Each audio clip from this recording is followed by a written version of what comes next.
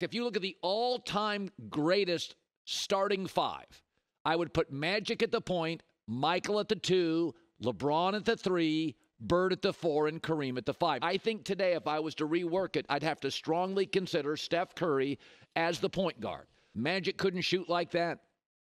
Now, both are below average defenders. Magic was not a great defender. He had a hole in his game, and Steph's not a great defender. The difference is Magic wasn't a great shooter.